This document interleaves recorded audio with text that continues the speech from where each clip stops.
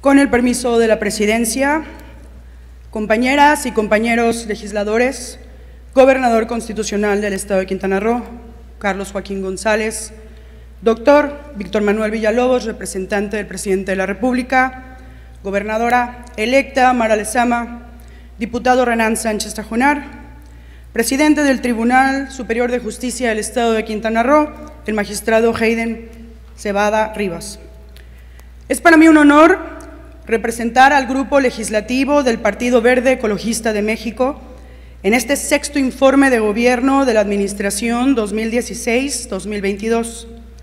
Desde la bancada verde estamos convencidos que la rendición de cuentas es un eje toral del Estado de Derecho, que la legitimación de los servidores públicos es una condición necesaria para construir una democracia participativa en la que se haga efectivo el derecho de los ciudadanos de recibir información, analizar decisiones, exigir cuentas y valorar el desempeño de sus gobernantes. Hoy, México declara seriedad y capacidad, por lo que es necesario reconocer lo que se hizo bien para dar la debida continuidad y a su vez ser agentes de cambio de lo que podemos mejorar.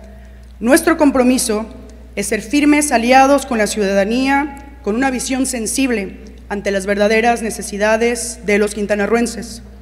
Desde la Junta de Gobierno y Coordinación Política presidida con el liderazgo de Renan Sánchez Tajonar, marcaremos un rumbo de unidad, convicción y voluntad política, pero sobre todo de trabajo coordinado con los tres órdenes de gobierno, así como con los poderes estatales y federales.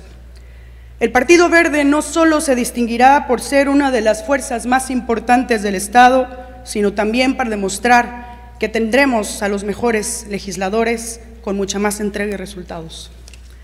Los últimos tiempos nos han enseñado la urgente necesidad de que los gobiernos dejen de ser reactivos y apuesten por la cultura de la prevención. Señor gobernador, de este gobierno destacamos la capacidad de respuesta en medio de distintos desafíos con la pandemia como obvia protagonista. El cambio climático el sargazo, los huracanes, el COVID-19 nos enseñan lo frágil que es nuestro entorno y es de vital importancia seguir detallando estrategias que protejan la industria turística, las fuentes de empleo y logremos la diversificación económica, ya que será la única manera de proteger el bienestar de las familias quintanarruenses. Y desde esta perspectiva, trabajar fuertemente en la deuda pública generada en las administraciones pasadas desde el Congreso debemos sentar precedentes para que esto no vuelva a ocurrir. Para la bancada verde, la misión que debemos compartir todos es lograr que nuestro Estado le sonríe a su gente de la misma forma en que ellos le sonríen a la gente que nos visita. Por tanto, debe existir una transformación en el modelo económico. Urge duplicar esfuerzos para apoyar a las micro, pequeñas y medianas empresas, así como brindar facilidades para el surgimiento de nuevos emprendimientos donde su aliado principal sea su gobierno. De igual manera, nos queda mucho por hacer en cuanto a seguridad, cuidado del medio ambiente, manejo integral del sargazo, protección y defensa de la mujer, oportunidades de empleo al alcance de los que nacieron aquí y de los que viven aquí.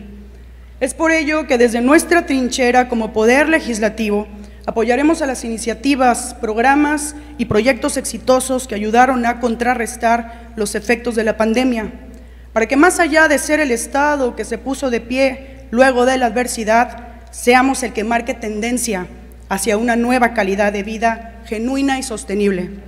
Porque la verdadera fuerza de Quintana Roo se garantizará cuando ningún ciudadano se quede atrás Señor gobernador, la bancada verde reconoce la importancia de rendir cuentas a los ciudadanos, a quienes debemos toda nuestra lealtad como servidores públicos.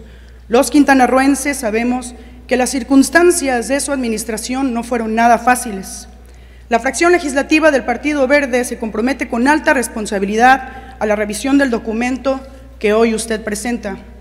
Quintanarruenses, nos corresponde a todos y a esta generación de cambio ser partícipes del nuevo tiempo que le espera a nuestro Estado. Y con el apoyo del Gobierno federal, de la mano del Presidente de la República y con la guía de nuestra próxima gobernadora, Mara Lezama, seguiremos impulsando una transformación eficiente, estratégica e innovadora que se traduzca en la felicidad de todas y de todos los quintanarruenses. Muchas gracias.